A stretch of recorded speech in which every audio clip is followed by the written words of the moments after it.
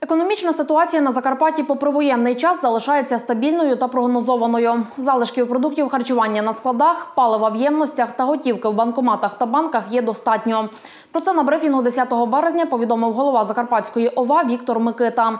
Також він наголосив, що в області триває облік вимушених переселенців та вже днями очікують наступну хвилю. В зв'язку з цим проведена робота з угорським консульством, з словацьким та румунським. Ми домовилися про те, що вони щодня будуть отримувати від тисячі до півтора тисячі наших громадян.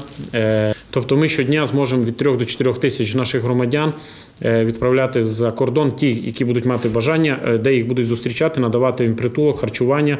Буде відповідний облік. Вони при бажанні зможуть отримати статус біженця. Щоденно отримуємо запити від іноземних партнерів на розміщення дітей.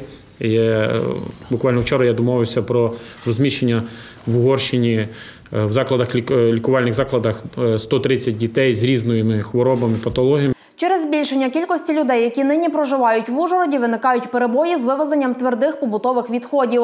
Це питання мають вирішити найближчим часом.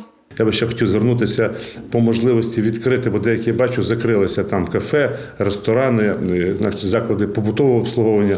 Тому що у нас е, по різним підрахункам 20, 30, а може і більше тисяч населення, яке зараз е, в місті проживає, збільшилося від цих 115, які в нас проживало. Тому є навантаження. За останні дві доби на Закарпатті у мешканців області, які перебували в стані алкогольного сп'яніння, вилучили два автомобілі. Їх помістили на штрафмайданчик. Рішення щодо передачі авто Збройним силам України прийматиме військова адміністрація.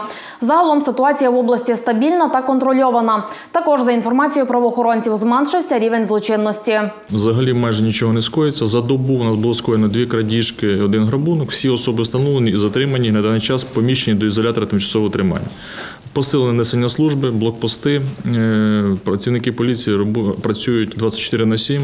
Регіональний орган Служби безпеки України е, проводить заходи через призму протидії диверсіям, анти- контртерористичним заходам та інші безпекові заходи для того, щоб і продовжувати контролювати обстановку в регіоні, і щоб вона була така ж стабільна, як є на сьогоднішній день.